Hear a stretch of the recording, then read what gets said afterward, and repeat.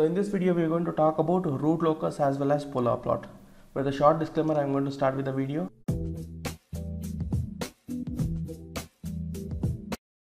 In this video what and all the things we are going to discuss is we are going to discuss about the 8 rules that is there in root locus. As well as we are going to talk about polar plots. What is the necessity for studying polar plots even though we were having Bode plots and if we are having polar plots why we are going for Nyquist plot so all those things I am going to discuss. And last but not the least even we can discuss even on problems also. And few students they have asked with respect to textbooks which textbooks you want to study. So at this moment of time I will recommend you to go only for this uh, the notes what you are having and you can take the mock test. But if at all if you want to refer textbooks what you can do is you can just refer to this Nagrath and Gopal. Nagrath and Gopal is good. And if you want some more information go for BC This book is also good. Want further information you can go for uh, principles and design from M. Gopal. Principle and design by M. Gopal. And this one if you are preparing for uh, like UGC NET or for engineering service examination you can just go for this one. Want complex problems? Solve the questions that is in Nise. And one more author is there Ogata. Ogata so whichever you want you can just prefer with the things. But at this moment of time I will recommend you to just go for like normal one. Nothing but whatever you are having in the notes no? You just please refer those one only. Those problems only if you are referring that is more than enough. For further information like you can just uh, take some mock test or solve previous year question papers. If at all if you want to gain some extra knowledge you can just go through these authors. Now what do you mean by root locus as i discussed it is nothing but roots of the characteristic equation and locus means it's a path. So we have solved on problem also. So we, we are going to take some uh, problem and then we are going to try to calculate all the eight rules. We are going to calculate all the eight rules.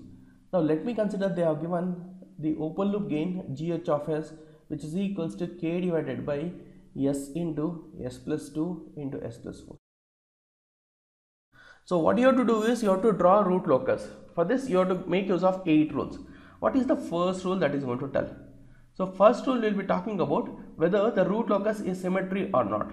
Now if I want to talk about symmetry, make use of pole 0 plot. So my poles are at 0 and one more pole is at minus 2 and another pole is at minus 4. Now you try to calculate or you try to figure out this area. Is this area is symmetrical with this, this area? Yes, right? These two are symmetric to each other. So whenever it is symmetrical with respect to origin, can I tell root locus is symmetrical about origin? Root locus is symmetrical about origin. Symmetrical about origin. So this is first rule there is no big deal in the first rule but let us go for second rule how many root lo loci branches you can draw means it is given by n equals to p minus z. n equals to p minus z. How many poles are there and its location? There are three poles. And how many zeros are there? There are none zeros. So number of root loci branches what do you mean by root locus branches? Let us discuss. That will be in three number. Now if you are, if they are asking with respect to some point they see this is the expression that is s into s plus 2 and s plus 4 say suppose if they are telling at s equals to minus 3 is root locus exist or not? So if they are asking with respect to root locus existing or not what you have to do is you have to just go with a shortcut. That angle and magnitude condition i thought right? So if you don't want to follow with that method you can just blindly go with this method. Nothing but keep a point over here place place the point over here. You try to calculate how many poles and zeros are there on the right. How many poles and zeros are there? There are only one pole. So this area is root locus. In this area root locus will exist. In this area root locus will exist. But the best one is you have to go for that angle condition as well as magnitude condition. Now you keep a point over here. You keep a point over here. Try to move towards right. How many poles you can find? Poles plus zeros how many things you can find? You can find two poles plus zeros. So it is an even number can I tell in the case of even number I will not be getting any any root locus. So what I am going to write is no root locus. And some persons what they are going to write it is like inverse root locus is going to exist. See root locus is not existing means inverse root locus is going to exist. So this is one thing what you have to know. And keep a point somewhere over here. Keep a point somewhere over here. You try to calculate how many poles are there towards right. How many poles plus zeros are there? There are 3 plus zeros. Nothing but total number of poles plus zeros are 3 is 3 an odd number? Yes. 3 being an odd number so what i'll be getting is i'll be getting this part. Nothing but here root locus do exist. Here root locus do exist. Now one one critical question like one uh, trap kind of question they will be asking.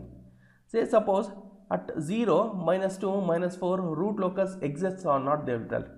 At all poles and zeros at all poles and zeros root locus do exist. Root locus do exist. So this one more thing you have to know. At all poles and zero location exactly at poles and zero location root locus exist.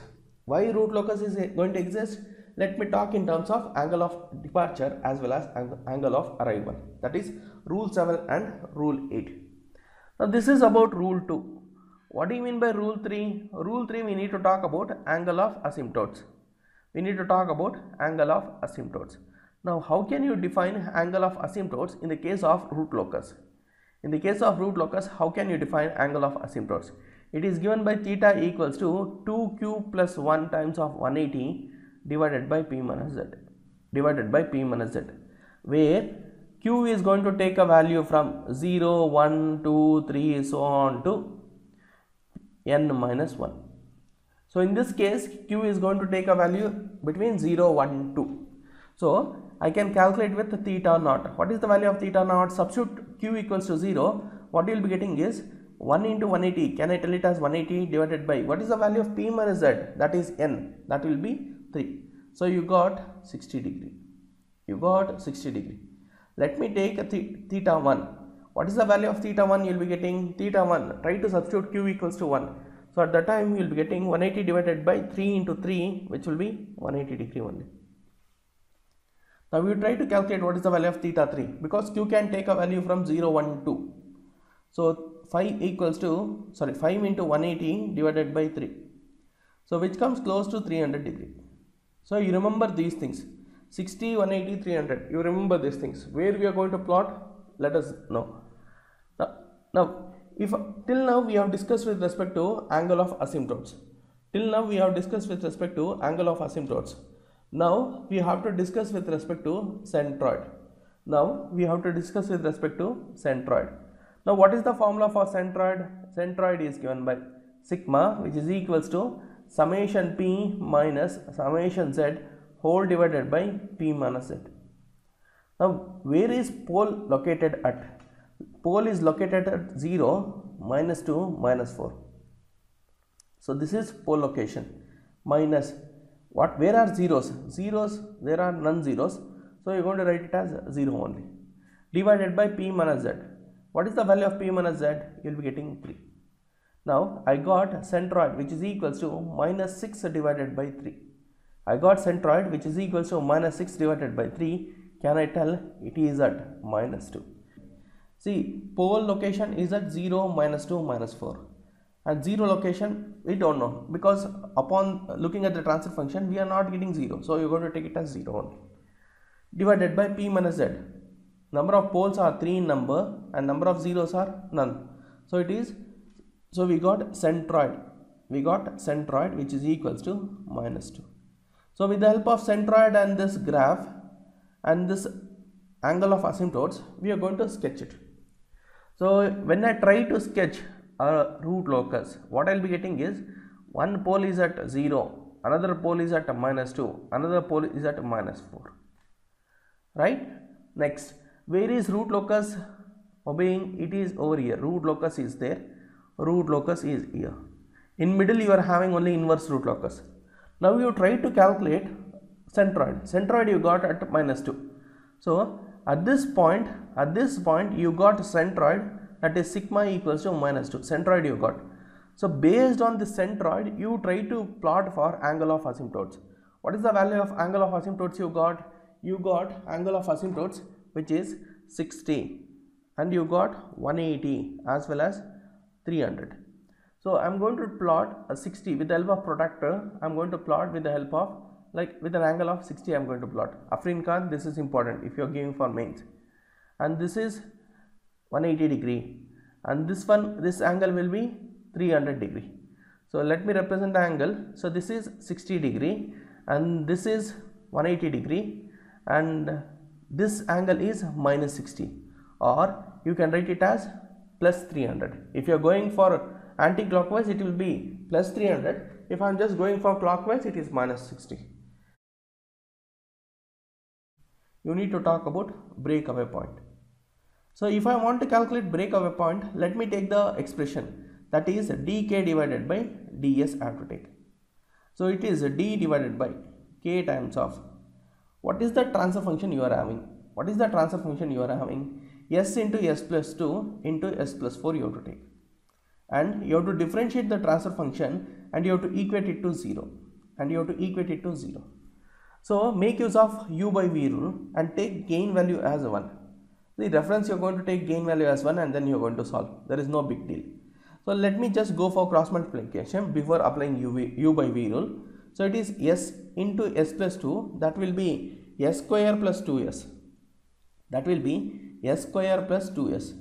I am just multiplying with s plus 4. Now what I got means dk by ds I have to equate it to 0.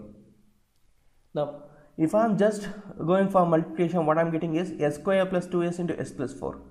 If I am simplifying further it is s cube plus what is s square times of 4 it is 4s square plus 2s times of s will be 6s square. It will be 6s square plus 8s plus 8s so this entire things I have to replace over here. So what I am getting is d upon 1 divided by 1 divided by s cube plus s cube plus 6s square plus 8s you try to equate it to 0. Make use of u by v rule. What does u by v rule says? v into du by say differentiation is dsu can take minus u times of dv by ds. u equate it to 0 whole divided by v square will be there anyway v square you can just send it on the right side it will be 0. V is s cube plus 6s square plus 8s into differentiation of a constant upper numerator will be 1 right? So differentiation will become 0 so it is minus of numerator value is 1 into differentiation of denominator. That s cube differentiation if you are making it will be 3s square plus 12s so plus 8 which is equals to 0 now if I am simplifying if I am sending minus 1 on the other end if I am sending minus 1 on the right side so what I will be getting is I will be left out with only positive terms that is s square. So what I will be left out with 3s square plus 4s sorry plus 12s plus 8 which is equals to 0 plus 8 which is equals to 0 now in order to just find out the value what you can do is you can just make use of minus b plus or minus b square minus 4ac divided by 2n so that formula is there right? So just make use of that formula. Let me assume let me assume here i'm just making an assumption. Let me assume if s equals to you got minus 1.33 let me assume if you got minus 1.33 it's well and good. And let me assume one more value is minus 2.35 i'm just making an assumption. If it is say suppose if it is minus 1.33 then it is lying on a root locus. Then it is lying on a root locus. If it is over here between minus 2 and minus 4 it is not lying on the root locus. This is how you are going to solve a problem. If the break point if the break point is lying on the root locus then it is a valid root locus. If it is not lying then it is an invalid one. Nothing but you should not consider. There is no point of considering that break point. Again i am going to repeat. What you are going to do is you are going to just make use of dk divided by ds. So when you are going to make use of dk divided by ds when you whenever you are getting the values as the values as like uh, within the limit then it is a valid root locus. If not it is not a valid root locus.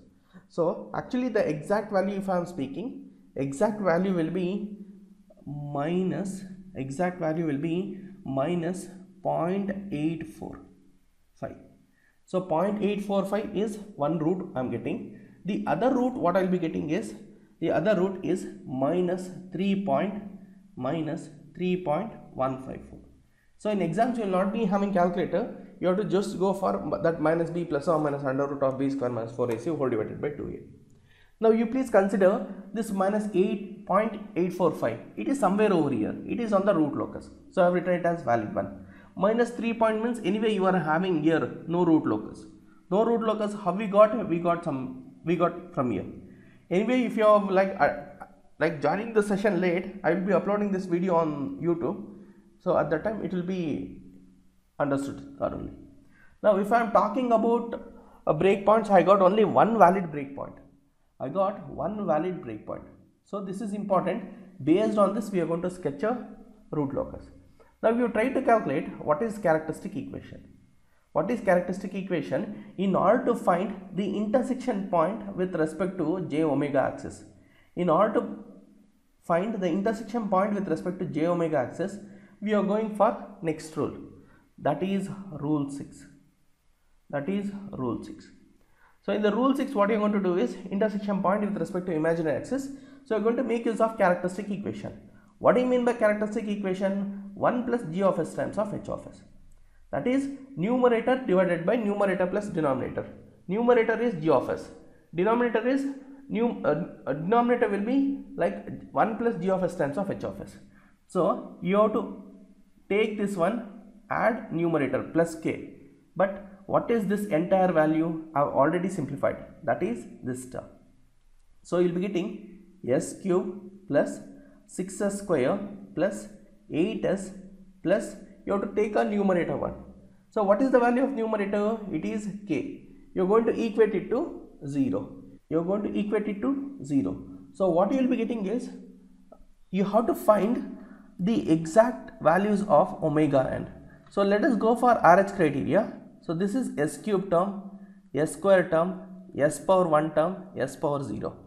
So what is the coefficient of s cube? It is 1. What is the coefficient of s square? It is 6.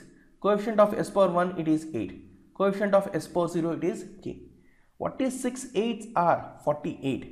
48 minus what is 1 times of k? It is k whole divided by 6. And next value is 48 minus k divided by 6 into k minus 6 times of 0 whole divided by this 48 minus k divided by 6. That is same as k only. That is same as k only. So what you can do is you can retain this value directly. Again I am going to tell it is 6 times of 6 times of 8 minus 1 times of k. It is not k minus 48. It is 48 minus k. In the case of matrix you are going to do in a reverse manner. So in which case you are to you are going for like what you are going to apply is important.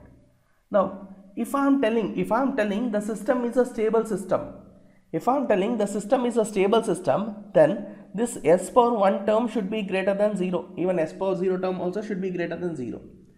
So, what is the range of k I am getting? So, if I am going for this s power 0 term, I will be getting 0 less than k. It is not th that much important for me. But actually, we will be going for this s power 1 term only. So, what exactly I am getting? 48 minus k divided by 6 which is greater than 0 or can I write 48 minus k is greater than 0? In other words, what I can write is k less than 48. Sending k on the other side, you will be getting 48 greater than k, k less than 48. Now, what is the range of k?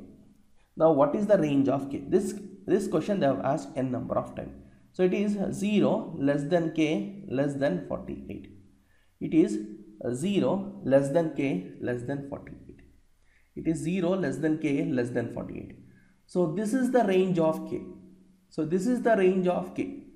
Now they are asking what is the intersection point with respect to j omega axis. So intersection point with respect to j omega axis how you are going to find means you are going to just make use of this expression. You are going to just make use of this expression. That is you are going to compare with respect to s square term. Comparing s square term what i'll be getting is 6s square plus k equals to 0. But if I am talking about whether the system is a stable system, if the system is stable system, you are going to consider it as greater than 0. when you will be getting an intersection point means when it is equals to 0 equals to 0 implies it is a marginal stable system. When it is marginal when k is running to the highest limit that is 48 so that k is now called as k marginal. K is now called as k marginal so what you will be getting? 6a square plus 48 which is equals to 0 or you will be getting s square equals to 6 8s are 48 so you will be getting minus 8 or you will be getting s equals to anyway root of minus, minus 1 will be plus or minus j and sending square on the other side it will be plus or minus. What is root 8 what is root 8 means you can just go for 2 root 2 again root 2 value is what? 1.414 so if I am performing 2 root 2 I'll be getting 2.2824 so s equals to plus or minus 2.2824 2.2824 so you need to compare this one with respect to you need to compare this one with respect to s equals to plus or minus j omega n.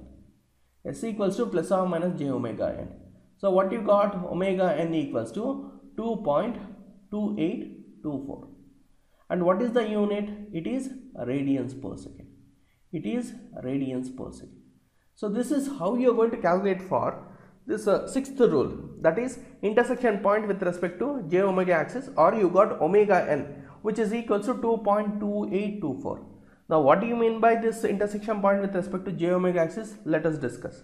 But before to that let us talk about rule 7 let us talk about rule 7 so in the case of rule 7 what they will be talking is they will be considering with respect to they will be considering with respect to angle of arrival.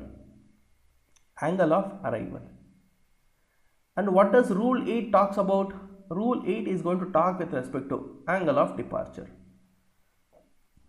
Angle of departure. Now what do you mean by angle of arrival angle of departure? You just uh, compare with respect to boarding. So arrival means you are just coming. Departure means you are leaving. Arrival in the sense you need to talk with respect to zeros. You need to talk with respect to zeros. And departure you need to consider with respect to poles. Because in the case of root locus you're going to draw a path or it is going to take a path from pole to zero. But in the case of inverse root locus it is a different scenario. So you're drawing root locus or you're drawing inverse root locus it is important. So if i'm talking about angle of arrival it is given by let me talk it as uh, let me take it as phi a. Phi a is given by 180 minus angle gh angle gh here phi d is nothing but 180 plus angle gh angle gh what do you mean by this angle gh means? Take an angle condition. That is consider this expression at s equals to type some pole or s equals to give a pole location since all the poles are real since all the poles are on the real axis nothing but on the negative real axis as well as positive real axis you should not find angle of arrival. There is no point of finding angle of arrival and angle of departure.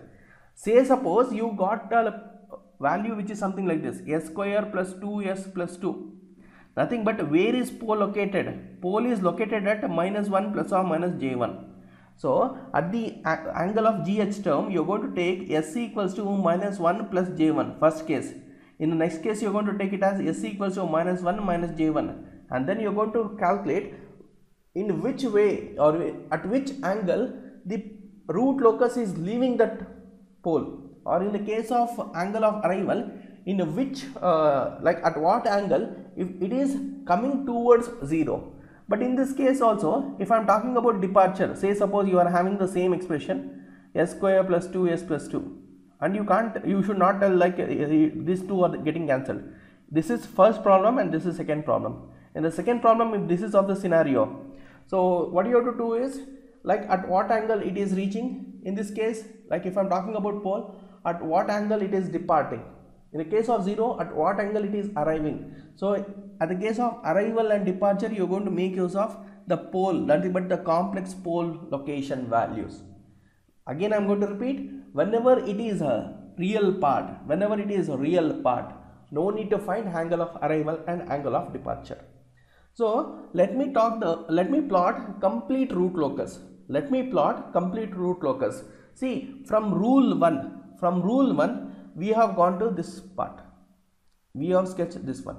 So from this one what you are going to do is we are going to try to extend it. When we try to extend it what is the what is the graph you will be getting? What is the graph you will be getting is important. Is my system a relatively more stable or relatively less stable? You should plot. Or you should come to know after plotting. So the pole location is at 0 minus 2 and minus 4 now what is the value of centroid you got? Centroid you got minus 2 centroid you got at minus 2 so you take this point as sigma which is equals to minus 2 again again you got angle of asymptotes.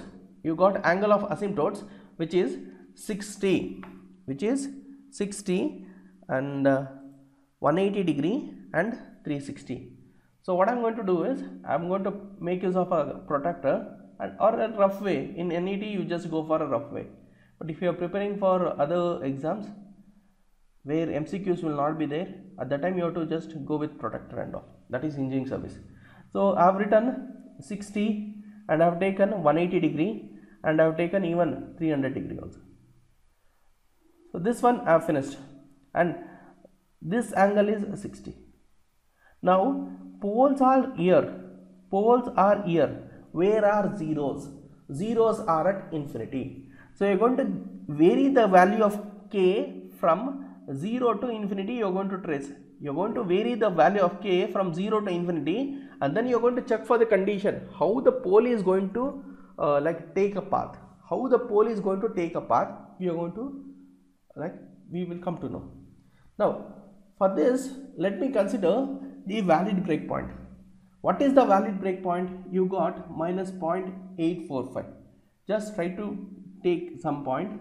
This is minus 0.84 minus 0.845 so this is my breakpoint so this value is breakpoint you will denote like this. Now what you will be having is you will be getting a root locus curve which is something like this. Here there are two poles so it will be departing at plus or minus 180 degree divided by n. Two poles are there. It is departing at plus or minus 180 degree divided by n. Now what is the path it is going to take? Now what is the path it is going to take means it will be taking a path which which is like this. So it will just try to take a path with respect to asymptotes travel to near the asymptotes and meet at infinite. And it is going to meet at infinite so it will be like this. At infinite it is going to meet. At infinite these two things will meet uh, meet each other. What is this point? What is this point? This point is referred as that intersection point that is omega n. So what is the value of omega n you got? Omega n you got it as 2.2824 you got 2.2824 so this is the thing you have to write and this one is minus j 2.2824 now how these poles are tracing? Which pole is taking which path you have to show? So these two poles are joining over here. These two poles are joining over here. And it will be departing at plus or minus 180 degree divided by 2 nothing but plus or minus 1 plus or minus 90 it will be taking this path it will be taking this path. And even this pole also it will be taking this path. So from pole we have to just write for zeros. Again i'm telling at infinite at infinite it is going to meet. At infinite it is going to meet. So 0 will be at infinite at infinite it is going to meet. Even this one also even you are having this one also right? This pole will try to extend like this. So at infinite you will be having one zero. At infinite you will be having one zero. So this k equals to minus 4 will be reaching at infinite only. Will be reaching at infinite. So this is the complete root locus. This is the complete root locus. What i sketched? So in the case of rule 1 this is the scenario. In the case of rule 2 you're going to calculate for number of root loci. In the case of third in the case of the uh, like rule 3 you're going to calculate for angle of asymptotes angle of asymptotes you got a 60 180 300 now in the case of rule 4 in the case of rule 4 we need to talk about centroid. Centroid is given by summation p minus summation z divided by p minus z. In one uh, in one time they have not asked centroid. They have given with respect to one more name. So what is this one more name one more name? Just comment in the telegram group. So they have not asked centroid. They have asked with one more, one more name. And rule 5 is break away point and no need to calculate for break in point. All those things is not important. Just calculate for breakaway point. That is more than enough. Breakaway point means like how pole is meeting and at what at what point it is just breaking away or it is just moving away. So that is breakaway point. Now if i am talking about zero it is break in point right? So that is not important in this form. And rule 6 is intersection point with respect to j omega axis. Here we will be calculate what is omega n. Omega n you are going to calculate from here that is you got it as 2.2824 so this is with respect to j omega axis. And again you have to calculate for angle of arrival and angle of departure. When we should not calculate or when we don't require this angle of arrival and angle of departure you should know. And this is the complete root locus. So the plot what I have written is complete root locus. So based on this plot only you will be getting only one, one MCQ what is the value of centroid directly if they are asking the value of centroid means what you have to do is you calculate only this part. That's more than enough. If they are asking with respect to angle of asymptotes you calculate only this one. If they are asking how many root loci are there you try to calculate this one. But if they want to make it little bit complex they are going for breakaway point. Because breakaway point like many of them will not be knowing how to calculate breakaway point. Or in other sense if they want to ask with intersection point so many of the students what they'll be doing is they'll be considering on the denominator term and in order to trap you they are going to give one more k expression over here also. But in order to find the intersection point with respect to j omega axis you are going for the characteristic equation that is 1 plus g of s times of h of s. And one of you should tell me in the case of root locus in the case of Bode plot and in the case of Nyquist plot you are going for only open loop transfer function that is g of s times of h of s. But in the case of RH criteria you are going to make use of the entire characteristic equation that is 1 plus g of s times of h of s. And this is about rule 7 and rule 8 now when you should not go for or when you should not go for angle of asymptotes when you can skip this rule 3 when you can skip this rule 3 means whenever poles equals to 0 no need to calculate for angle of asymptotes because you are getting 0 and when it is not required to calculate even centroid also when poles equals to 0 no need to calculate even for centroid also no need to calculate even for centroid and breakaway point yes. Uh, whenever poles are equals to 0 at that time also you'll be getting the valid uh, like the expression kind of thing. And you need to go for uh, like valid breakpoints as well as invalid breakpoints so please go through it then you uh, then each and everything will become familiar.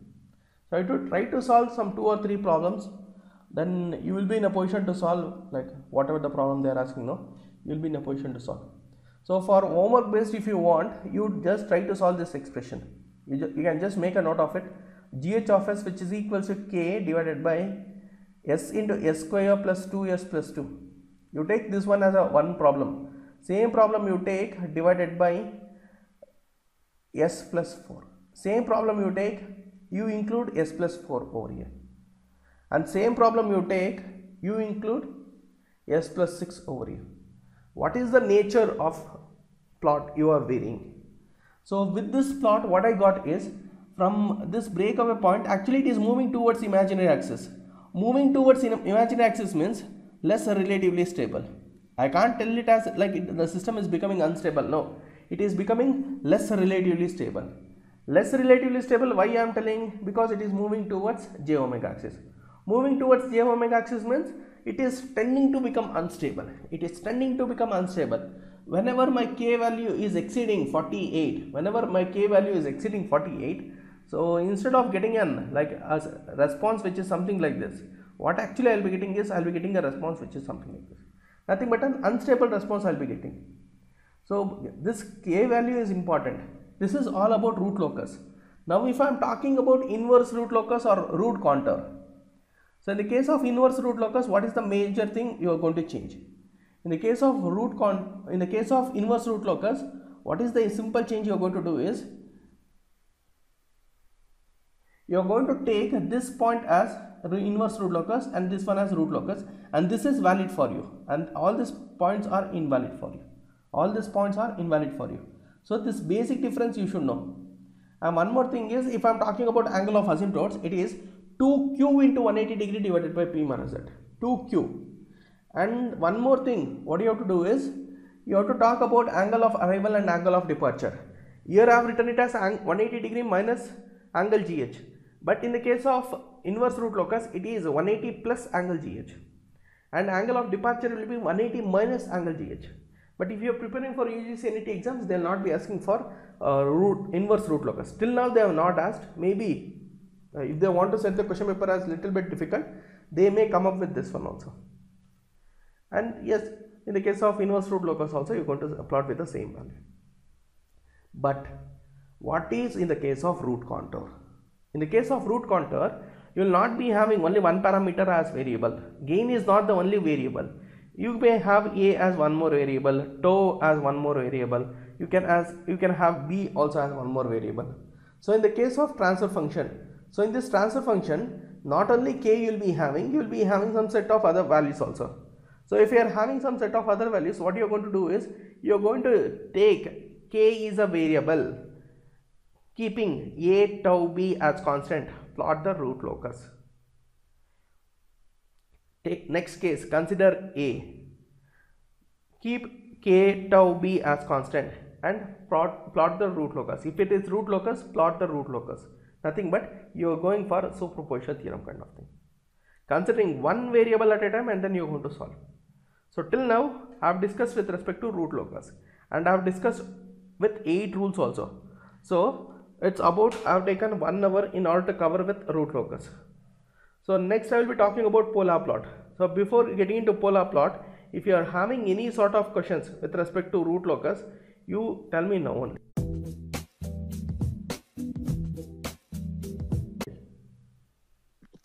Sir, Yes.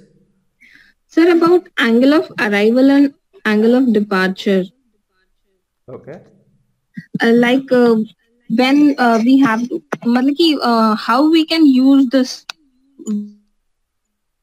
angle of arrival and angle of departure, Matla, how we can make this in a problem. How you can, how you, how you can make use of this uh, condition. Yes, right? sir. So, yes. for this, for this, let me take this example. For this, let me take this example. So where is pole located at? S equals to 0, comma minus 1 plus or minus j2. Is my voice audible? Yes, sir. Audible. Okay. So what you're going to do is you're going to take angle of GH. Angle of GH you're going to take at S equals to minus 1 plus J1. Minus 1 plus J1. So minus 1 plus J1 means it is equals to angle of K divided by what is the value of S? It is minus 1 plus J1 Yes, sir. and and next value is you will be getting minus 1 sorry it is minus 1 okay minus 1 plus or minus j1 so next value what you will be getting is minus 1 plus j1 plus 1 minus j1 so you'll be getting 0 next value you will be getting j2 so you try to substitute s equals to minus 1 plus or minus j1 in this expression and you try to solve. So when you are going to try to solve what you will be getting is you will be getting a, values which is minus 1 plus j1 one term and j2 other term. So next what you have to do is make use of angle condition. So anyway angle of k it is not having any significance. Make it as 1 now what is this value? What is this value? 0 degree divided by tan inverse of 1 divided by 1 so it is a tan inverse of 1 divided by minus 1 plus it is tan inverse of tan inverse of omega part will be 2 divided by 0 now what act- actually you are going to do is you are going to make use of imaginary part which, which is imaginary part which is uh, real or positive and real part it is negative. Nothing but you are going to make use of second quadrant in the case of second quadrant what is the values how you going to take 180 minus tan inverse of 1 so this minus 1 is there, right? It is tan inverse of minus 1. How are you going to simplify tan inverse of minus 1? It is 180 minus tan inverse of 1. What is tan inverse of 1? It is 45. Plus, what is tan inverse of infinite? 2 divided by 0 is infinite, right? So it is 90. Send all these terms on the numerator. So what you will be getting is minus 135 minus 90. so you got you got angle of gh which is equals to minus 135 minus 90 which is equals to minus 225 say in this case you are going to calculate for angle of departure. So angle of departure because it is at pole location. So what is the value of phi d? Phi d equals to 180 minus sorry 180 plus angle gh but what is the value of angle gh it is a negative value. So it is minus 225 so the pole is departing at minus 45 so this minus 1 plus j1 pole is departing at minus 45 so this is the significance. So this is the significance of uh, denoting all these things. Say in this case of minus 1 plus or minus j1 you will be getting a curve which is something like this. So it is departing at minus 45 so it will be like this. And this one will be like this. And here you will be getting j omega n. So here you will be getting this j omega n. So in this case the curve will be something like this. Or sometimes the curve can be like this also so it depends actually like if you're taking a problem and if you're solving what is this j omega n value? So make use of a, linear plot and then you're going to linear scale graph and then you're going to solve. So thereby you will be getting the values. So thereby you will be getting the values. So this is the significance of angle of arrival and angle of departure especially the problems which are like this. That is s square plus 2s plus 2 at that time you will be getting that poles as imaginary and even zeros also as imaginary so you need to consider that expression right?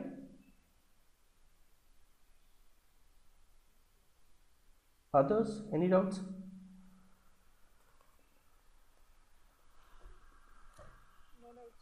Okay. So shall i start with the polar plot? See if i'm talking again i'm telling you if i'm talking about polar plot no the extension one will be your nyquist plot.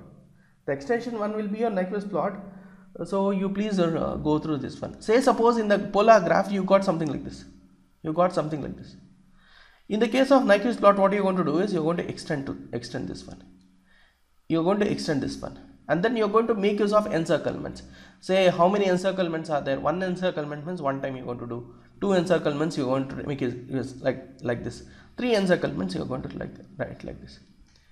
So polar plot actually if you are able to understand nyquist plot will be dead easy so in the case of polar plot again it is a frequency response plot. You're going to just make use of uh, like it is not a time domain analysis it is a frequency domain analysis. So to draw frequency response of open loop transfer function that open loop transfer function is g of s times of h of s. So we are going to make use of this polar plot. We are going to make use of this polar plot. Next you can just go for if you want to find a closed loop stability you can find closed loop stability with the help of this open loop transfer function that is g of s times of h of s. So ultimately you are going for closed loop system stability only. So in order to find the stability we are going for open loop transfer function. And you are having few terms that is gain margin. What do you mean by phase margin?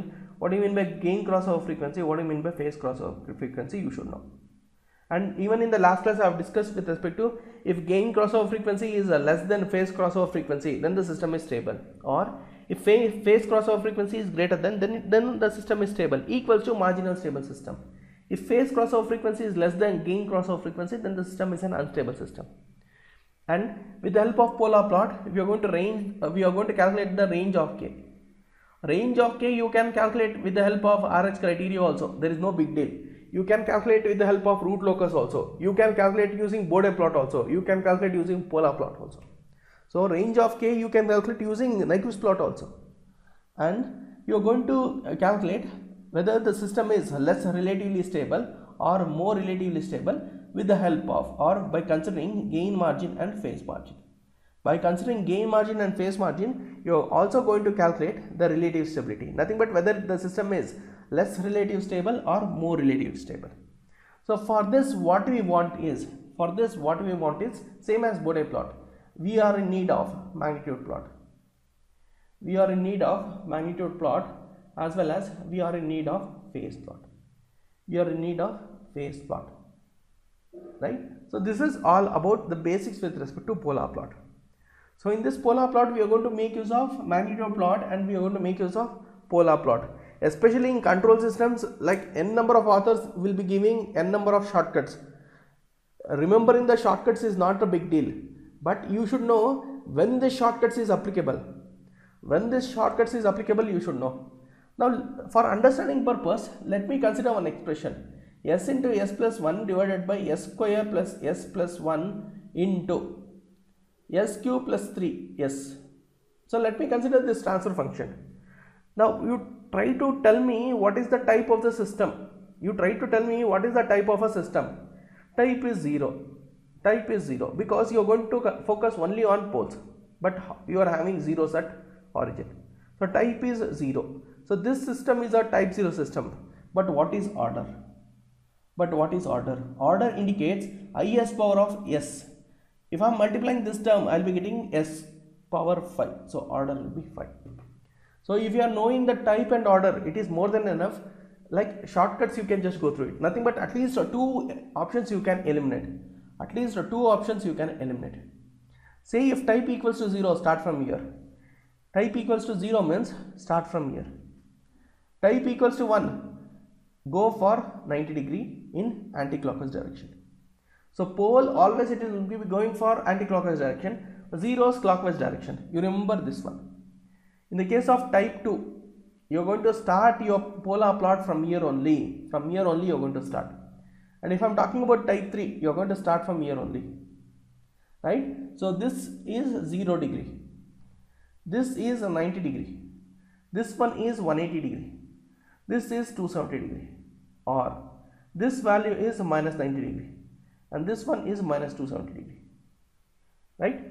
Now, if I am talking about order, if I am talking about order between this 0 and minus 90 if you will be getting order as 1 you are going to start from here. And say suppose if order equals to 2 say suppose order equals to 2 start your graph from here or start your plot from here. If order equals to 3 start from here. If order equals to 4 start from here.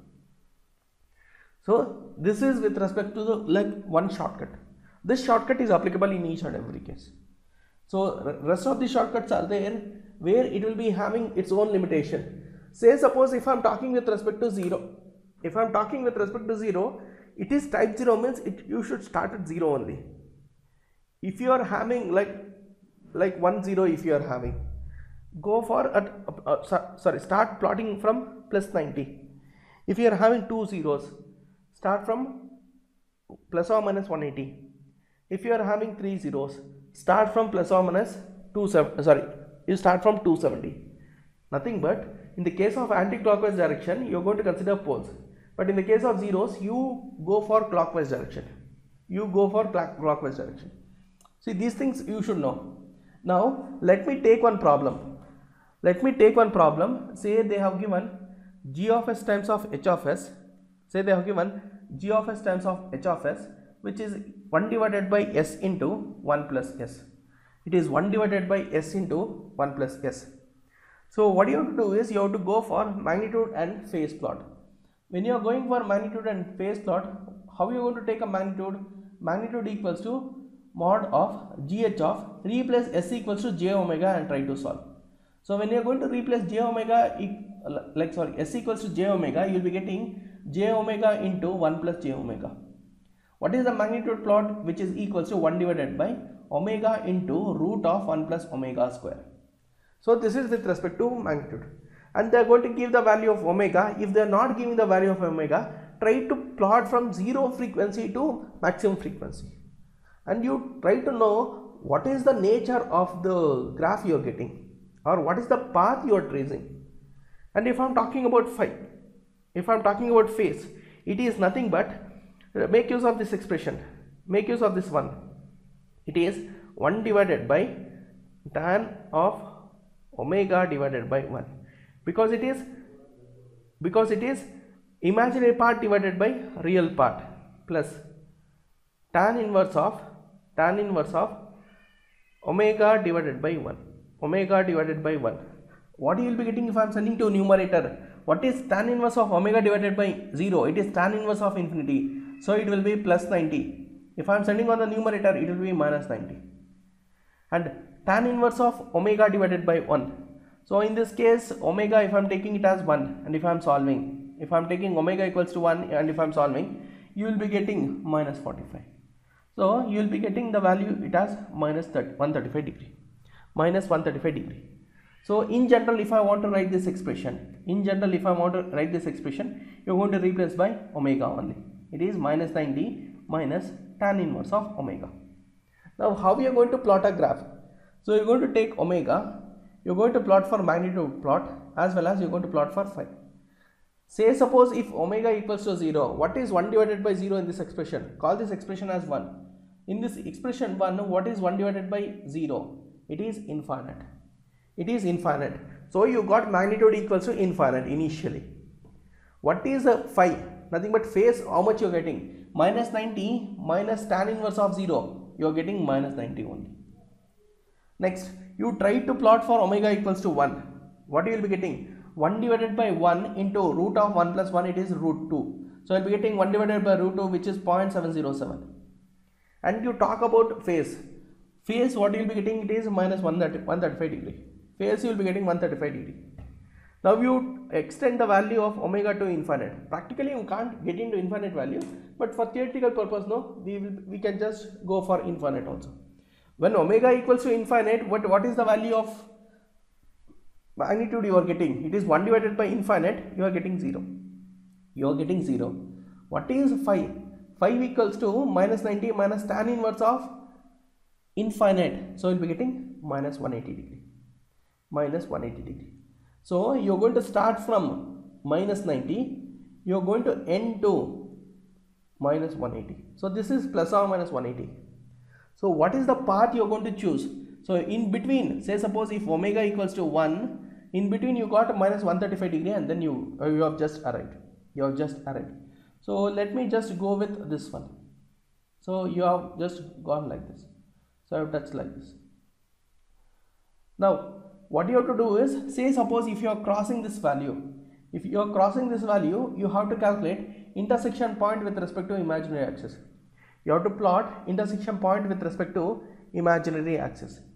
Imaginary axis. Say at this point if you are getting the value well and good. If not you are reaching like this only. You are getting you are reaching like this only. So whenever you are crossing whenever you are crossing you should just think about intersection point with respect to imaginary axis that is minus 180 when you are thinking that it is crossing this 180 degree what you are going to do is you are going to take use of this phase 1 and you are going to take minus 180 which is equal to minus 90 minus tan inverse of omega. Like that you are going to solve. Like that you are going to solve right so say suppose if omega equals to 0 or omega equals to infinite you are getting no need to um, make use. That means it is not reaching at or it is not taking a cross of 180 degree. So in order to understand with the things what I am going to do is let me take one example. The same example with an extension 1 let us take. Gh of s which is equals to 1 divided by s into 1 plus s. I am just going for an extension into 1 plus 2s so please concentrate this is important what is the first step you are going to make? You are going to replace s equals to j omega and then you are going to solve. So what is the magnitude plot you will be getting? Directly I am writing it is 1 divided by omega into root of 1 plus omega square into square root of 1 plus what is 2 square you will be getting? 4 into omega square. So this is magnitude plot you are getting. What is phase plot you are getting? Phase plot equals to this s will become a pole nothing but it is minus 90 see in the case of uh, Bode plot Nyquist plot as well as polar plot if you are getting a pole it is phase is minus 90 if you are getting a 0 it is plus 90 if it is you are getting 0 it is plus 90 and if you are getting pole it is minus 90 this one you should know. Minus tan inverse of omega divided by 1 so that will be minus tan inverse of omega minus. This one I will be getting is minus tan inverse of 2 omega divided by 1 so I am going to write it as minus tan inverse of just 2 omega now you try to plot for omega magnitude as well as phase so say suppose if omega equals to 0 if I am taking, say suppose if omega equals to 0 if I am taking, omega equals to 0 is substitute in this equation 1. What you will be getting? You will be getting it as an infinite value. So magnitude you got infinite value. But what is the phase you will be getting? Try to substitute in equation 2. So what you will be getting minus 90 minus 0 minus 0. So you are going to start from minus 90. You are going to start from minus 90. Next, what is the next value you will be getting? say suppose if I am taking like uh, you take some intermediate value say if you if you can if you are having calculator with you, you take 0.5 so when you are taking 0.5 you will be getting magnitude equals to 1.2 and angle you will be getting minus 161 right say suppose say suppose uh, let me take one more value omega equals to 1 will be very much simple for us. Omega equals to 1 if I am taking I will be getting 1 divided by 1 into root 2 into root of what is 1 plus 4 it is 5 what I will be getting? 1 divided by root 10 what is root 9 it is 3 what is root 10 it is something like 3 point change. So I can take uh, sorry it is like a 3 point change I can take. 1 divided by root 10 is something like uh, it is something like 1 divided by you are going to say 3.1 or something you can take. What is 1 divided by 3 it is 0.33 it should be less than 0.33 1 divided by 3.1 something it should be less than 0.33 so let me take it as 0.3 and let us solve. So go for approximation. So when it is 0.3 you just make use of equation 2 minus 90 minus tan inverse of 1 what is tan inverse of 1 it is 45 tan inverse of 2 if they have asked in UGC NET exams you should remember tan inverse 2 also or else go for approximation. See the case of tan inverse 2 what will be the maximum value? You just go with an approximation that in the case of 45 in the case of 45 you got value as 1 tan inverse of 1 is 45 but what is tan inverse of? Uh, root 3 root 3 is 1.72 1.72 or 73 you take. It is at 60 degree. So if I want a value of like tan inverse of 2 means it is like greater than 60 kind of thing. You take some close value. So when you are just taking a close value you will be landing up with minus 198 minus 198 or else you just go don't go for even omega equals to 1 also. You directly go for omega equals to infinite. You directly go for omega equals to infinite. So when you're going for omega equals to infinite first equation will be very much easy because 1 divided by infinite itself is 0 so no need to go for this 1 plus omega square into 1 plus omega 4 omega square no need. Just replace omega equals to infinite you will be getting 0 now when omega equals to 0 what you will be getting? Minus 90 minus what is tan inverse of infinite? It is 90 only. Minus tan inverse of 2 infinite it is tan inverse of infinite only. It is minus 90 only. So what is minus 90 minus 90 minus 90 so you'll be getting with minus 270 only. You're getting minus 270 only. So with this graph oh sorry with this values you have to plot a graph. You have to plot a graph. And one more thing before plotting the graph let me just go with this scenario. Say suppose if omega say suppose you got an angle of plus 45 so you're going to draw like this. You are getting an angle of 135 you're going to draw an angle like this. You are getting a minus 1 minus 45 you'll be you'll be drawing a graph like this. You are getting minus 135 you are going to draw like this. So this value is minus 135 and this value is plus 135 so if you are going for anti-clockwise direction it is positive. If you are going for clockwise direction it is negative. So these things you should know. Because my phase values are negative values. My phase values are negative values. So which is clockwise which is anti-clockwise you should know. So let me just go for a plotting. Let me just go for plotting. So what I'll be getting is initially it is starting from minus 90 initially it is starting from minus 90 it will not touch this plot. It will not touch this one. Why? Comment in the telegram group. So you'll be getting omega equals to 0 magnitude you will be getting it infinite. Similarly in the case of root locus also we have not touched. I have not touched this one. So it will be reaching at or it will be meeting at infinite. It will be meeting at infinite. So I am not started from infinite. So uh, what I am going to do is I am going to give some spacing next what will be the nature of curve? At omega equals to 0.5 at omega equals to 0.5 magnitude you got 1.2 but what is the angle you got? Minus 161 what is the angle you got? Minus 161 what is minus 161 maybe consider this one. This is minus 161 you got a plot of or you got a magnitude of 1 1.2 so you take this one. So you're going to start from omega equals to 0 that nothing but magnitude equals to infinite and then you're going to start so you're, go, you're going to get a plot which is something like this which is something like this right? Say at this point at minus 161 you got a magnitude of 1.2 you got a magnitude of 1.2 say suppose if i'm taking minus 198 say suppose if i'm talking about minus 198 it is 0.3 uh, one more thing I'm, I'm just ending at minus 180 so it is not the actual one. Why I should not at, not end at minus 180 means see this the final value is ending at minus 270 so what you have to do is you have to just cross that 180 line. You have to just cross that 180 line. It is meeting at 270 again how you have to show that meeting point? It is coming like this. It is a meeting like this. It is like this. So there should be little bit of j omega intersection you have to show. Say if you are showing like this if you are showing like this it is not the actual one.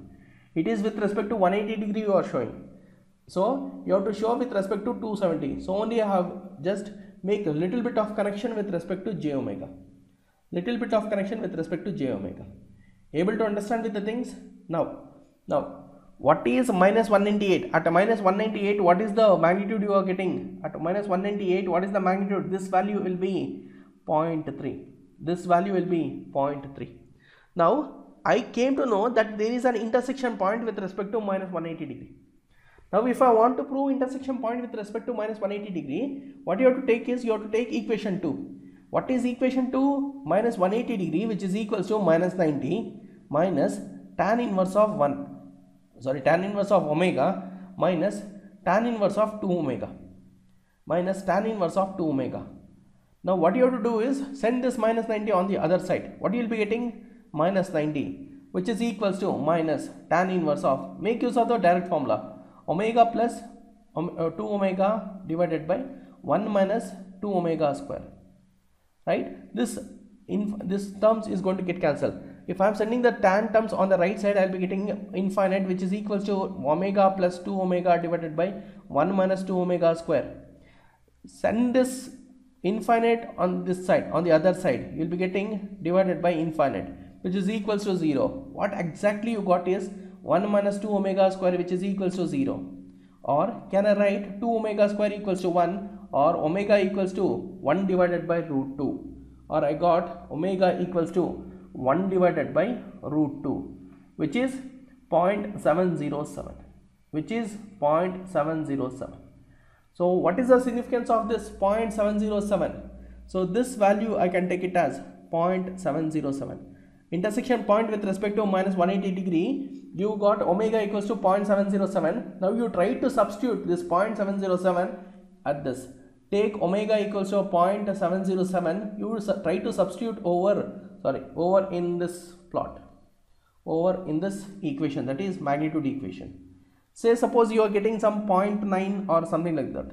Say suppose if you are getting 0.9 that will be your magnitude one that will be your magnitude with respect to intersection point with respect to 180 degree. Unable to follow i'm going to repeat once again. You came to know that intersection point with respect to minus 180 degree. Because why it is minus 180 degree I'm considering is I just came to know that it is crossing the value. It is crossing this value.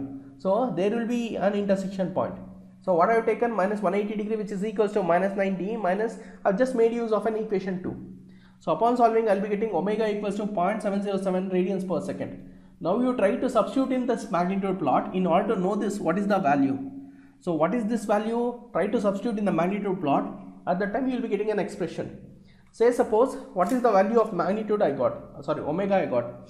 0.707 so it is 1 divided by it is 1 divided by 0.707 into square root of 1 plus 0.707 0.707 whole square into under root of 1 plus 4 into 0.707 sorry into under root of under root of 1 plus 4 times of 0.707 this square you going to do.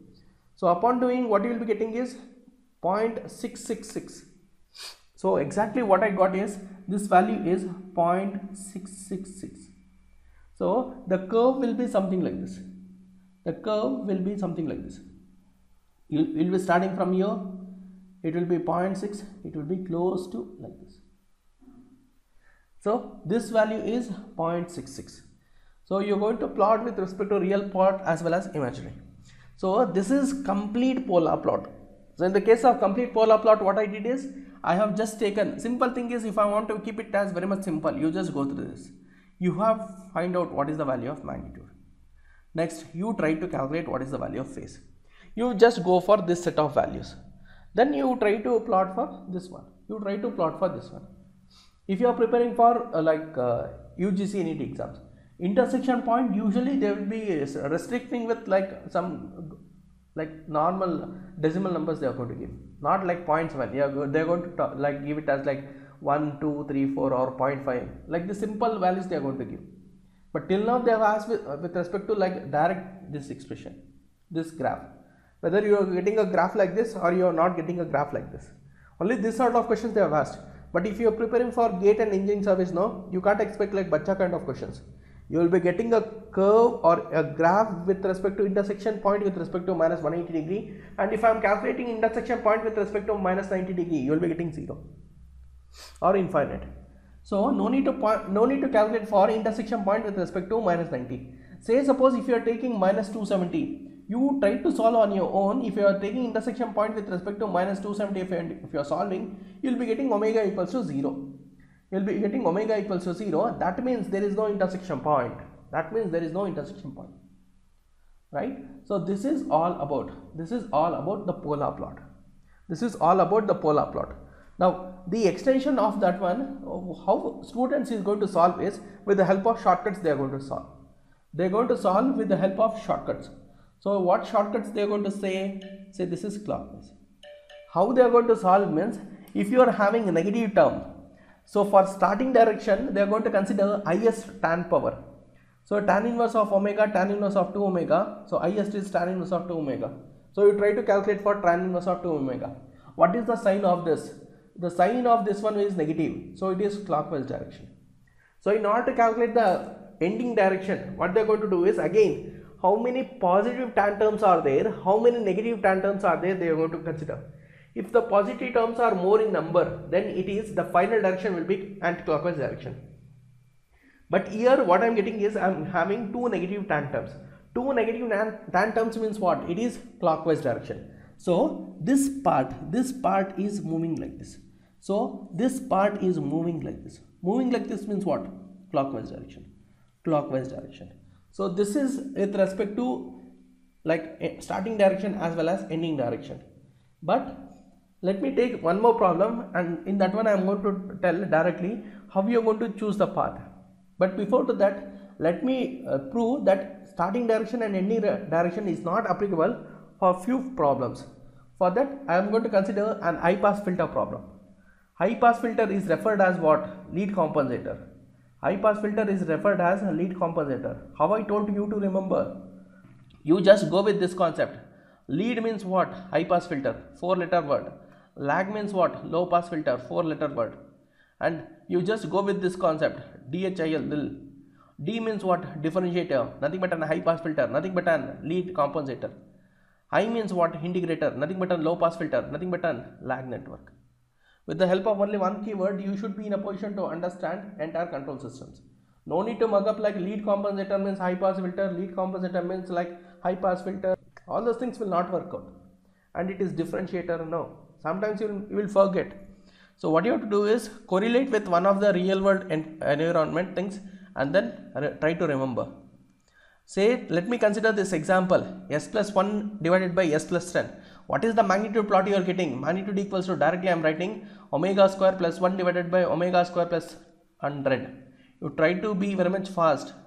Phi equals to tan inverse of omega minus tan inverse of omega divided by 10 right? There is no problem with equation 1 and equation 2 if you are having any sort of doubt please let me know. Now only I am going to explain in detail. Now let me plot for omega magnitude as well as phi consider omega equals to 0 at any moment of time you can interrupt omega equals to 0 omega equals to 0 means what try to substitute omega equals to 0 you will be getting 1 divided by 10 which is equals to 0.1 what is the value of phi? Tan inverse of 0 is 0. Tan inverse of 0 divided by 10 is tan inverse of 0. You will be getting 0 only. Now if you try to plot for omega equals to 1. When you are plotting for omega equals to 1, what is the magnitude you are getting? 0.14. And what is the value of phase you are getting? 39 degree. Say suppose you are, if I am increasing the value of omega, omega equals to 2 if I am taking. So I will be getting the magnitude which is equals to 0.22. But what is the phase I am getting? 52 degree. 52 degree say suppose if i'm like very much greedy i just increase the value of frequency to infinite so what is the magnitude if i'm getting over here before that let me talk about phase phase equals to tan inverse of 90 minus tan inverse of 90 which will be equals to 0 now how you are going to calculate the value of magnitude if they have given infinite? So you can't replace infinite and infinite over here. That is not the best and optimized technique. Take omega square as common. You will be getting 1 plus 1 divided by omega square into 1 plus 10 divided by omega square. Now omega square and omega square is going to get cancelled. You substitute omega equals to infinite. You substitute omega equals to infinite. What is 1 divided by infinite? It will, it will be a 0 it will, which will be a 0 what is 1 plus 0 the root which will be 1 only. So you got magnitude equals to 1 and phase equals to 0 this is when omega equals to infinite. This is when, when omega equals to infinite. Now you try to plot a graph. Now you try to plot a graph your graph will be in first quadrant only. Why? It is between 0 to 0 only. It has raised to 39 degree 52 degree and then again it has fallen. Now initially when, omega equals to 0 when omega equals to 0 what is the value of magnitude you got? 0.1 when omega equals to infinite when omega equals to infinite what is the value of magnitude you got? 1 right? So when phi equals to 39 degree say suppose when phi equals to 39 degree say suppose this is 39 degree rough way i am taking. When phi equals to 39 degree what is the value of magnitude you got? 0.14 you got 0.14 now when phi equals to 52 degree you got 0.22 when phi equals to 52 degree you got 0.22 you got 0.22 and like all this uh, sort of values you're going to take and then you're going to sketch it. So when you're sketching you are getting a curve which is something like this. When you're sketching sketching you're getting a curve which is something like this. So this is when magnitude equals to 1 and this is when magnitude equals to oh, sorry this is when magnitude equals to 1 this is when magnitude equals to 1 0.1 and 1 sorry. Now what you have to do is in which path it is taking? It is from 0 point, uh, 0 point 1 0.14 0.22 1 nothing but 0 39 52 and it will come it is coming back to 0 so it is tra tracing this path. It is tracing this path. This path means what? Can i tell it as it is a clockwise? It is clockwise direction. It is clockwise direction now you just go with this expression equation 2 you just compare with respect to equation 2 so what you are having you are having the positive tan term positive tan term means what? You should take it as anti-clockwise direction. But what you have taken is clockwise direction. And if i'm talking about like uh, ending direction ending direction you are having with respect to uh, two values. One po one positive term you are having one negative term you are having. Again there is a conflict. So what you are going to do is you are going to just go with the standard procedure. So standard procedure means what? Omega magnitude omega magnitude phase you're going to take and then you're going to plot. So this shortcuts shortcuts is not applicable. Shortcuts is not applicable. Why it is not applicable? Because the expression what they have given is an high pass filter expression. High pass filter expression or a lead compensator expression. How you are going to tell it is a lead one so when i'm going to plot i'm getting 0 over sorry pole at minus 10 and i'm getting 0 at minus 1 pole is leading when compared to 0 so many of them will be telling in the other words that 0 is close to origin then it is a lead compensator no. Pole is actually leading 0 we are very much concerned with respect to pole. So pole is leading 0 so it is an lead network. Lead means high pass. High pass means differentiator say in one example if they have given s plus 10 divided by s plus 1 what kind of filter they are asking? How you are going to tell directly? Just make use of pole 0 plot. Pole is at minus 1 0 is at minus 10 can i tell pole is lagging? Pole is lagging in this network. So it is a lag network. Lag network means what? Low pass filter. Low pass filter means what? An integrator. Low pass filter means what? An integrator so this is how we are going to solve a problem based on polar plot. And when procedure is not valid when procedure is valid all these things you should know. So before taking one more problem with respect to polar plot if you are having any doubts as of now please let me know now only. Sir, in the sir, in the first question of root locus, no sir, polar plot, polar plot. First question. Sorry. Uh, sir, where the graph is? Yes, sir. In this case, if we are going like, uh, if we are going for omega equal to zero, magnitude infinite, and minus 90, so we'll uh, we will start uh, like the shortcuts you told. We'll start from minus 90. And then if we are taking directly magnitude 0 and for omega equal to infinite, uh, so you told that uh, here you are showing that it is not crossing minus 180 degree, but it also cross one minus 180 degree when you were. So uh, how we will know that it No, no, no, no, no, no. Actually, actually, I just made an assumption if it is crossing. But actually, see, uh, I have told right minus 135 means this one. This is minus 135. So minus 35, 135 when omega equals to 1 it is 0.707. So the this is magnitude value. It is 0.707.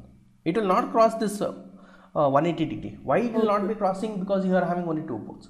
Uh, there when I was explaining I just made an assumption say suppose if it is crossing at that time you have to just go for intersection point so I try to explain what I mean by intersection points and all but in this one it will never cross that 180 degree don't worry Okay, okay, okay. I thought that it will cross 180 degree. no no no, no. I, I, I told right I'm just making an assumption and then I'm writing others any doubts Sir, in case of type and zero, we um, uh, type and order, uh, they are calculated after simplifying the equation, right? yes yes uh, that one is uh, like for shortcuts directly if you are going for shortcut now that is applicable Okay, okay. And so, what is the difference like uh, for type and order in the circuit? Like uh, for type, we know that it is uh, used for uh, finding the stability and all. Uh, so Okay. difference, can you explain? Like if we have type two and order uh, three system, then what will be the difference in the circuit due to the type and due to order? See, if I'm talking about open loop system, we are very much bothered with respect to type. Say, suppose uh, type equals to 1 means what? 1 pole is at the origin. Type equals to 2 means what? 2 poles are at the origin. So, 2 poles are at the origin means the system is an unstable system. But in this case, in this case, type can be even uh, uh, 20 also. You can't guarantee that system will become an unstable system. Because in the case of closed loop system, if you are taking, you're going to just make use of characteristic equation. That is numerator plus denominator. In the case of denominator, you're going to take it as or you're going to add numerator to it. So it will be s power 20 plus some expression. Plus some expression means you're not having the 20 poles on origin. So in the case of open loop system and closed loop system, uh, you you should be very much uh, familiar with respect to the type. Say uh, in order to trap you, they are going to give this uh, gh of s. So this uh, gh of s, they are going to give it as s power 20, s power 2 or s power 3, and then they are going to solve. And uh, like that, uh, it, uh, like, like if they are giving directly, you should not tell. It is the it is an unstable system. You have to just go with the standard procedure and then you have to solve. Okay, means in open loop system, we can directly tell the type and the stability. But in case of closed loop system, we need to calculate and then we can uh, comment on its stability.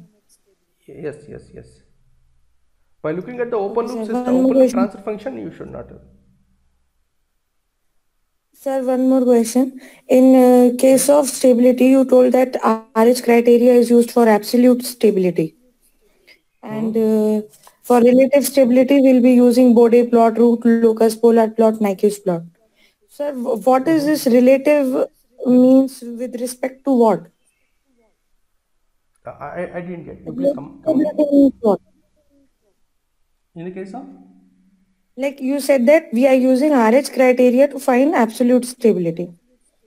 yes, And in that case, we'll use the characteristic equation. uh, For finding relative stability, we'll be using either Bode plot, root locus, polar plot, Nyquist plot. yes. All these are for relative stability. So, sir, so what does this relative stability mean? Relative with respect to what? That I didn't understand. Okay. See, in the case of uh, absolute stability, you can just guarantee that system will be a stable system. You can guarantee that uh, the system will be a stable system. But if I'm talking about relative stability over a period of range or over a period of gain values, only in those region the system will be a stable. Rest of the cases the system will tend to an unstable system. Say suppose you consider this example. You try to consider this example. 1 divided by s plus 2 or s plus 3 you try to calculate 1 divided by s plus 3 this expression you take. This one you can't make it as an unstable system. You do whatever you want. You can't make this one as an unstable system. Or you just try to get this expression. That is 1 divided by s plus 10 you can't make this kind of systems as an unstable system because it is always stable. But you try to consider a, an expression which is something like this. 1 divided by s cube into 1 plus s into 1 plus 2s you try to consider this sort of examples what you will be getting is the system may get into an unstable over a period of range nothing but as you are increasing the gain value the system will become an or the system will tend to an unstable system Okay. In a, so this is what i mean in some particular range only the system will be stable. That is relative stability. yes yes yes and in the case of polar in the case of uh, uh, this one root locus also i have taught you say suppose it is a plot is uh, tending towards imaginary axis. What is what does that mean means as you increase the frequency the system is going to become unstable. As you increase the frequency the, the system is going to become an unstable system. Sir, for Bode, root locus, polar and Nyquist, we will uh, find the stability with uh, the help of open loop transfer function, but it will give the stability of closed loop system. Is it like that?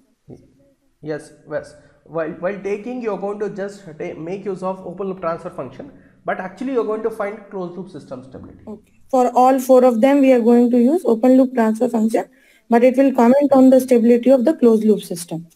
closed, closed loop system. Okay. But in the case of only RH criteria, you are going to take make use of closed loop transfer function characteristic. That is 1 plus g of s times of h of s. And that will Yeah, give the stability of closed loop system. Uh, that is like pakka. Is the system stable or not? It is going to tell. Okay. See, there is no point of commenting open loop system. Open loop system is stable or not stable. You can just make use of the g of, g of s expression and then you can comment. With the help of just the g of s expression, you can comment. Say suppose if they have given g of s. Say suppose the g of s value they have given this value. Say it is uh, s plus 2 divided by s minus 4. Directly you can tell the system is an unstable system because it is at 4 and here you are having 0 at 0 at minus 2 so directly the system is an unstable system. So there is no point of commenting on uh, like open loop systems. Only you need to uh, com- comment on closed loop system but in the case of Bode plot Nyquist and all you are going to make use of open loop transfer function that is g of s times of h of s. Sir, why root locus is the best technique to find relative stability? Because all are in the uh, Nyquist Bode plot, they are for the frequency domain and root locus is for the time domain. you just go for mathematical simplification. Which one is easy? Till now till now i'm i'm in uh, like a dilemma to understand nyquist plot. In the case of nyquist plot what you have to do you have to just make use of polar plot. And then you have to extend that polar plot and then what you have to do is you have to check for number of encirclements. And in the case of number of encirclements you need to check for how many poles are on the right side how many poles are on the left side. So in the case of nyquist plot you are going to vary from what? From minus infinity to plus infinity you are going to vary and then you are going to calculate. But in the case of root locus how you are going to vary? From 0 to infinite. So the best and optimum technique i'm telling the best and optimum technique is relative stability and Bode plot is not a good one. Bode plot is something like approximation only because you're going to just make use of similar graph sheet and then you're going to approximate the things and then you're going to draw. Now, let me consider one more example. Let me consider one more example gh of s which is equals to k divided by s plus 1 into s plus 2 into s plus 3 and one more thing if i want to just make a note means like in the case of uh, nyquist plot and all you'll be talking about phase crossover frequency you'll be talking about gain crossover frequency gain margin phase margin all those things you should make a note and then you're going to plot. But in root locus it is not the scenario. Only few rules are there that is maximum of 8 rules are there. With that 8 rules first rule is a dummy one. And the seventh and eighth rule is applicable only when they have given the complex one. Rest all the things no need to find. So it is easy now if i am talking about magnitude magnitude equals to 1 divided by square root of omega square plus 1 into square root of omega square plus 4 into square root of omega square plus 9 this is with respect to magnitude. What do you mean by phase? Phase equals to minus tan inverse of omega.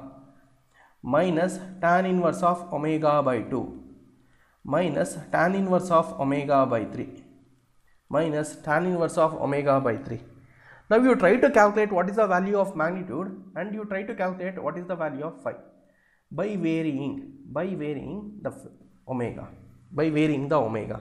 So say suppose if i am taking omega equals to 0 what i'll be getting? 1 divided by 1 plus 1 divided by root 2 plus 1 divided uh, sorry what you'll be getting is 1 divided by 1 into 1 divided by uh, omega equals to 0 means 2 into 1 divided by 3 so can i tell i will be getting 1 divided by 6 i am getting 1 divided by 6 but what is phase?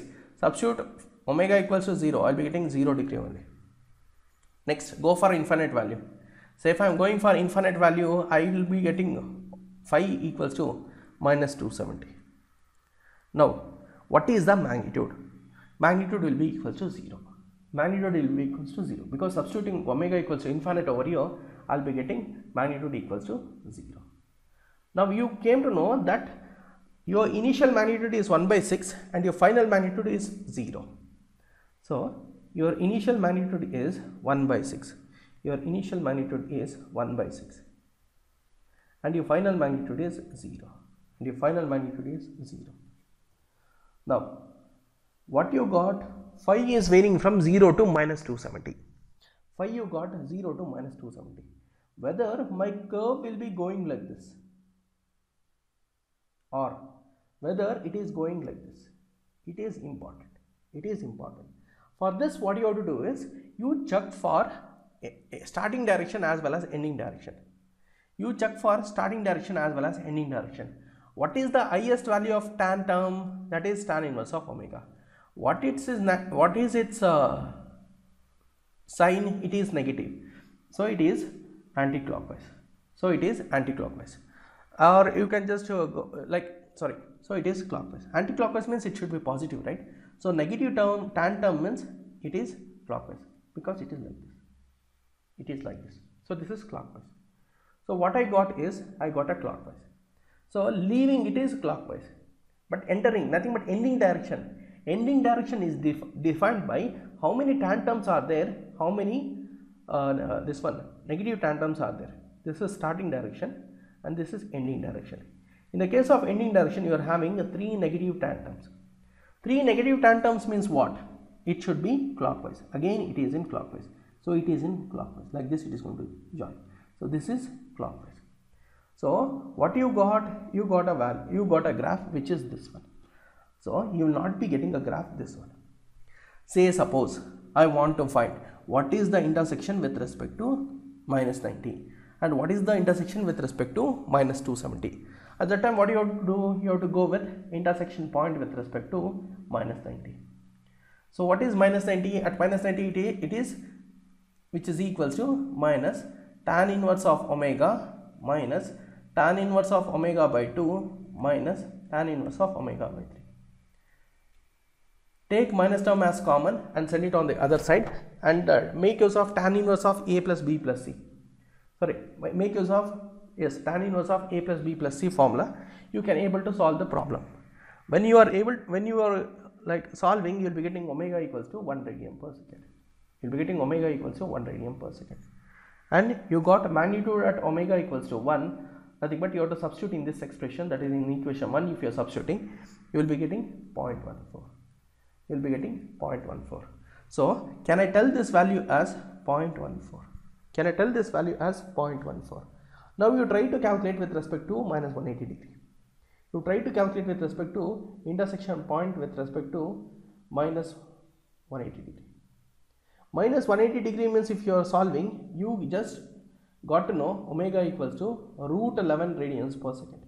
You just came to know that omega value which is equals to root 11 radians per second and what is the magnitude you got?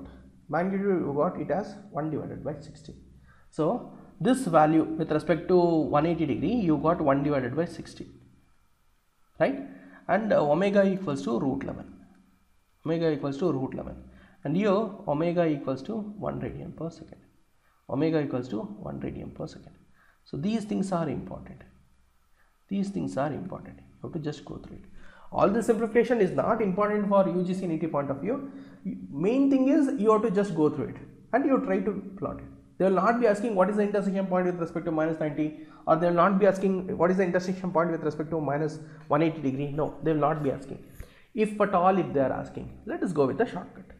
If at all if they are asking let us go with the shortcut. So shortcuts i will be teaching not a problem. But before that is there any doubt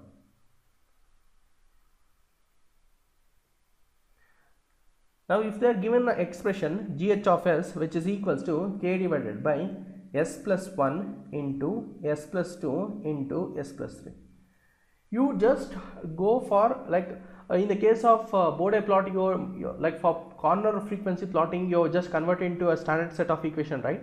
So similar to that what you have to do is you have to just convert.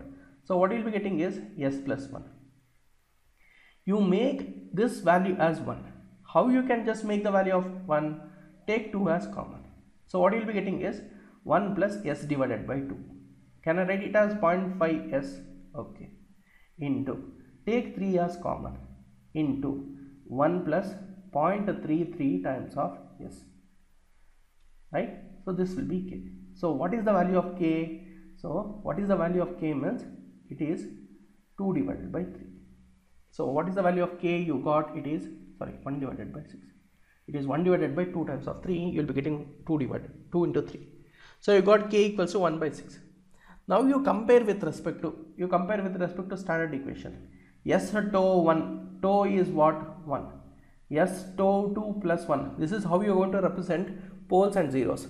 So tau 2 you got 0.5 tau 2 you got 0.5 and tau 3 you got 0.33 0.33 now if say suppose like in the case of UGC NET they will not be asking this tau 3 term. They will not be asking because again formulas it will be very much less only. For second order if they are giving for the second order anyway you are having a formula. Say suppose the graph is something like this. Say suppose if the graph you got for uh, only for this one say suppose only for this one you got a graph which is something like this. So when it is like this what is this point? What is this point? This point is defined as omega which is equal to 1 divided by under root of tau 1 times of tau 2 and magnitude in the case of this one how it is defined? K times of k times of root of tau 1 times of tau 2 divided by tau 1 plus tau 2 tau 1 plus tau 2 this is how magnitude is defined at minus 90 omega is defined like this. If they are giving for third order so you have to take it as tau 3 and here it is under root of tau 1 tau 2 tau 3 divided by tau 1 plus tau 2 plus tau 3 like this you have to take. And for tau 4 you have to go with this one only. So either you remember this shortcut either this you remember this one. It will be taking hardly like one minute maximum but if you are going for this one you have to like convert into a standard form. You have to convert into a standard form and then you have to remember this expression. You have to remember this expression. Maybe we don't know when this expression will become an invalid one also.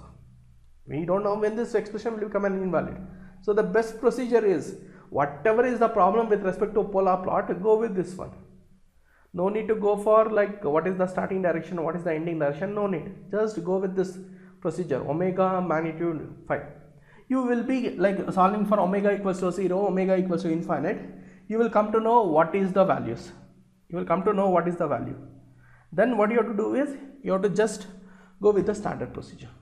Like next nothing but like take some omega equals to 1 try to find the value of omega sorry magnitude equals to 1 uh, or what is the value of magnitude you got try to calculate. What is the value of phi you got try to calculate. With these three values you can just plot for you can just plot for these things plot for polar plot. So this is all about the sketching of polar plot. So any doubts till now? So practice more and more problems. Uh, like one one sort of problems will be like this also. You may get a problem which is like this also. You may get a curve which is something like this. So you may get like this like this also it will go. When you will be getting is when the ending direction is anti-clockwise direction. And the starting direction is clockwise direction. You are having an intersection point with respect to 180 degree at that time you'll be getting a curve which is something like this. At that time there will be a crossing. So these things are important. And you here in this case what you'll be getting is here in this case what you'll be getting is a starting direction nothing but when omega equals to 0 it is starting at 180 degree. And it is ending at minus 90 so at that time definitely there will be a crossing. Definitely there will be a crossing. So based on starting direction as well as ending direction starting value and ending value and intersection point with respect to say some 180 degree or 90 degree you're going to plot for the things. You're going to plot for the things. So this is all about this is all about thank you for being on my channel. Please like the video share this video with your friends and subscribe to my channel Craving Gyan all the best for your competitive exams. Thank you